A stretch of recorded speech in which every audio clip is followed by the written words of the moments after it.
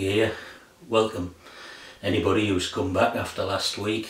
Um, so apologies that uh, I think I might have took a step too far last week with um, Eric Dolphy and Out to Lunch and the comments I've had both uh, on the on the channel and uh, outside of it have been that uh, yeah people found that uh, a little bit much. So this week is very much about uh, back to basics and uh, that little introduction there.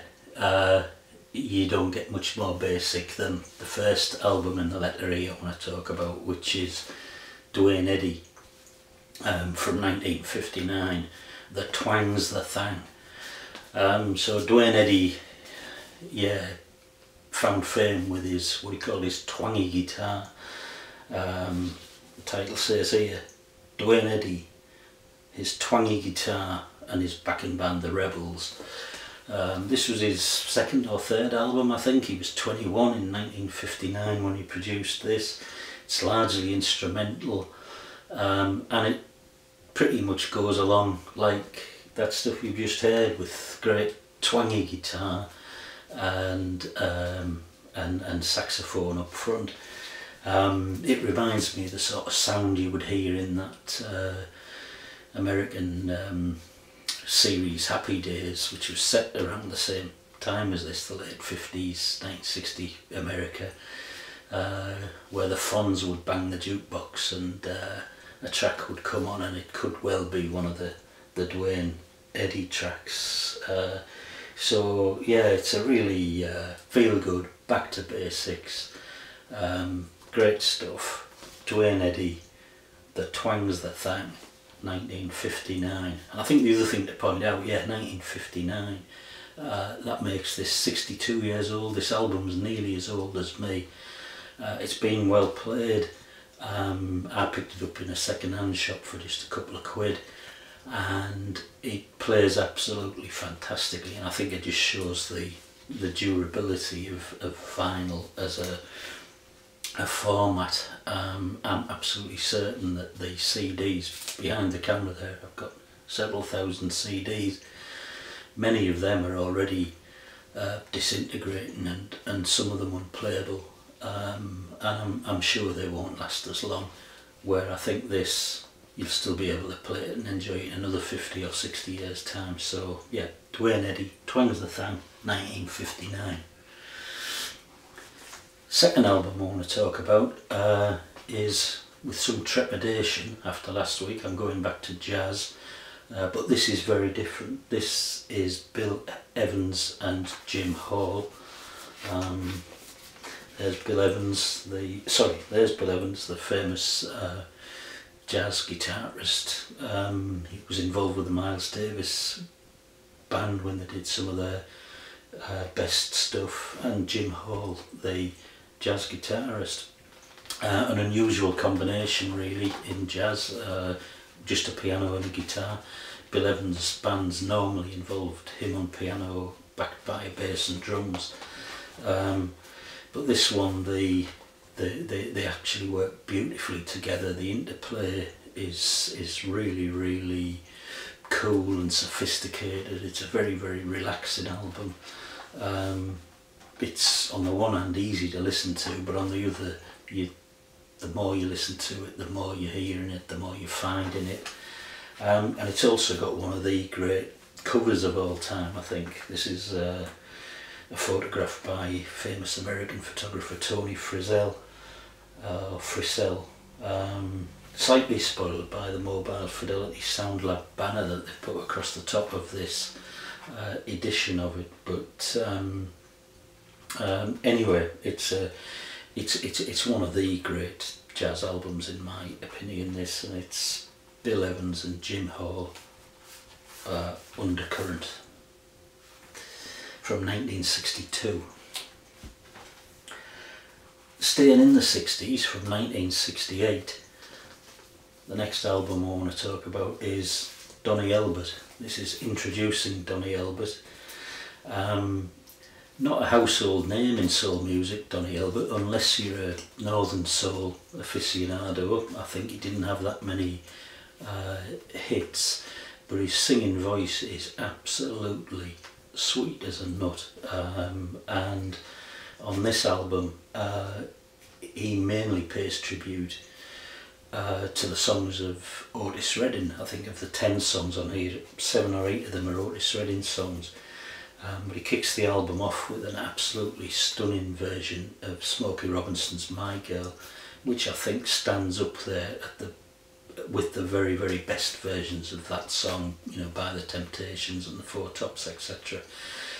The sound quality on this album is absolutely fantastic. This is a budget sort of album. You can you can tell by the the cover really. It's it was probably um, it's on Contour Records. It it probably was budget priced when it was new.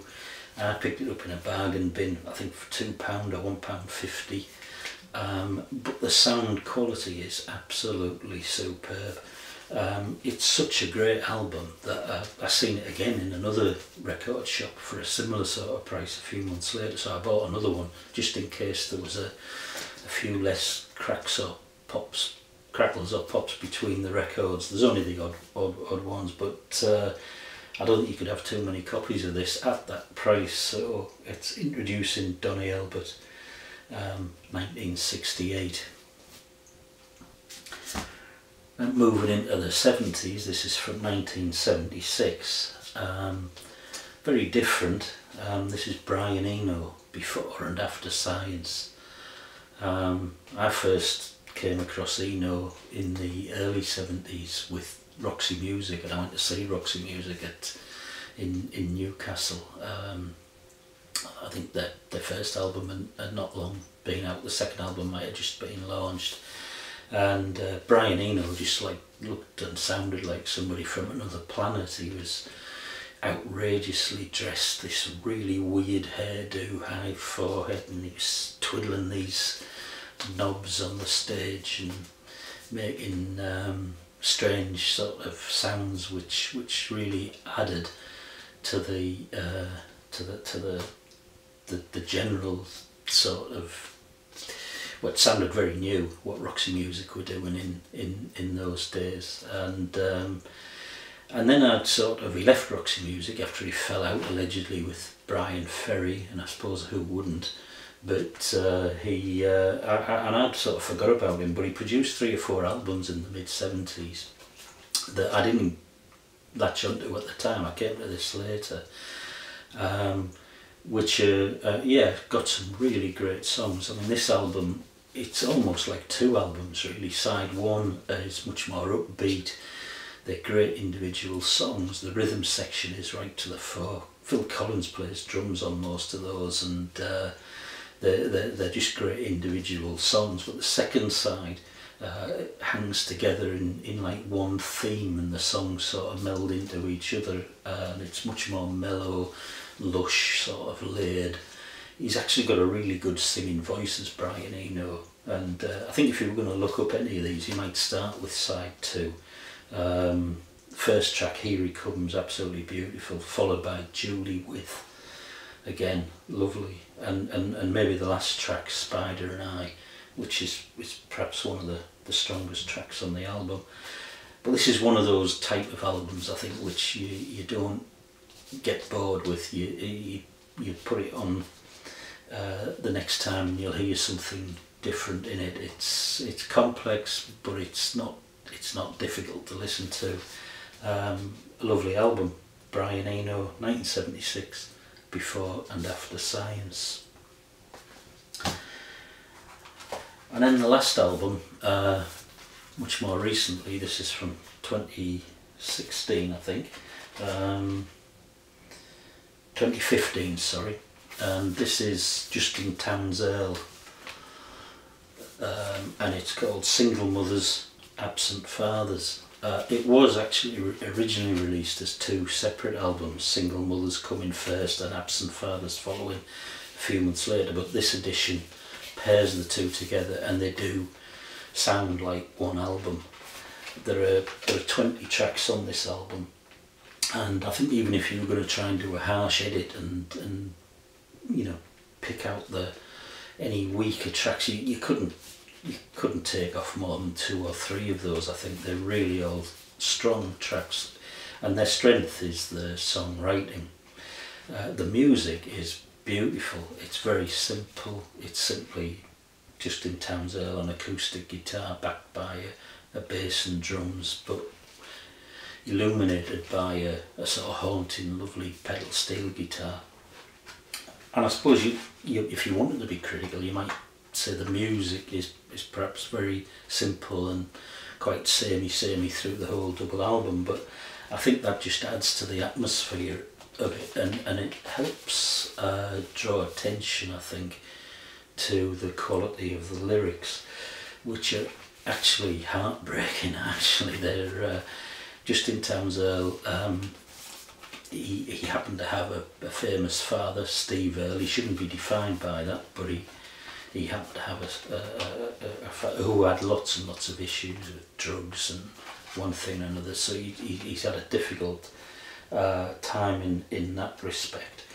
Um, but these songs are just so personal, so heartbreaking. Some of them remind me of sort of John Lennon's mother on uh, Plastic Ono Band in that he's sort of bearing his soul so um, starkly um, sometimes you feel you're you're intruding on his his grief by listening to this stuff but uh, uh, yeah really great great album. Sadly um, you know five years after this in his I think still in his 30s Justin Townes Earle um, died from an accidental drugs overdose so um, which just adds to the to the sort of sadness of the listening. But I don't know why it is that we enjoy listening to sad records, but I certainly do. Uh, certainly, if the the quality of this, so it's Justin Townes Earle, single mothers, absent fathers, from 2015. So that was a brief tour through the letter E in this collection behind me.